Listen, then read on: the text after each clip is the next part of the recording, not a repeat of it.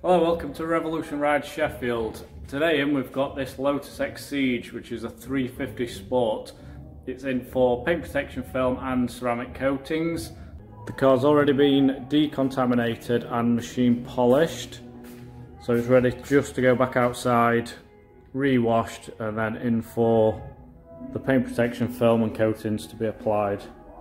So when installing paint protection film we take off any trim that we can so we can wrap underneath it so you won't be able to see the edge. So like the badge the lights and the indicators on the side that just means the film will sit underneath it.